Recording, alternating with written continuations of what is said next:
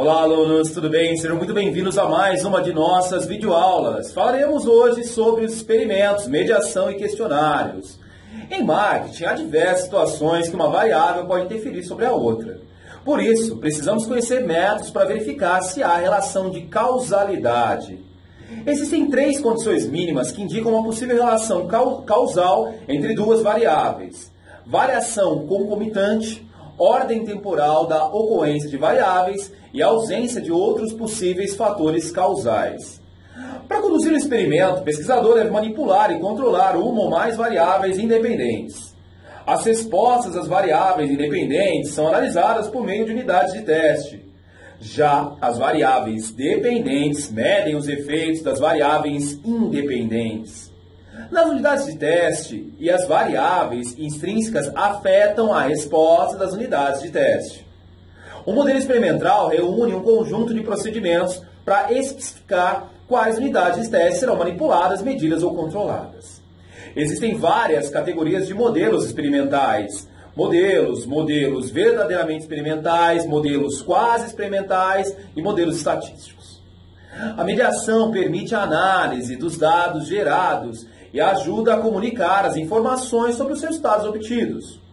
O uso de escalas é considerado parte da mediação e relaciona os objetos medidos ao longo de um contínuo.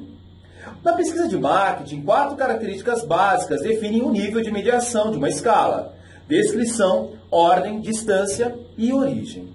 E existem quatro tipos de escalas primárias de medição: escala nominal, escala ordinal, escala por intervalo e escala razão. As técnicas com escalas podem se valer de escalas comparativas ou não comparativas.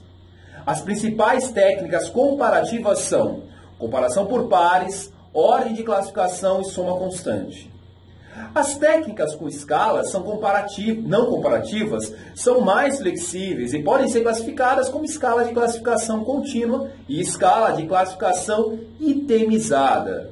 O questionário é um instrumento importante, pois garante a padronização e a comparação dos dados obtidos durante as entrevistas, além de aumentar a velocidade e exatidão do registro, se facilita o procedimento das informações.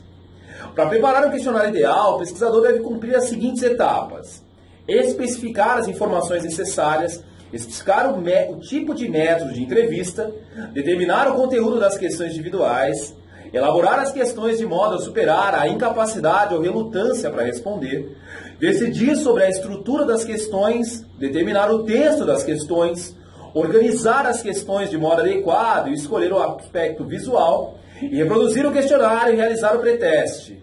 Como é bom estudar, não é mesmo? Além de ficar sabendo mais, tudo fica mais claro. Gostou do tema? Você está preparado para aprender mais? Espero que tenha assistido com atenção. Reflita sobre os conceitos apresentados. Por enquanto, nós ficamos por aqui, mas nos vemos em muito breve. É sempre um grande prazer. Bons estudos. Até mais!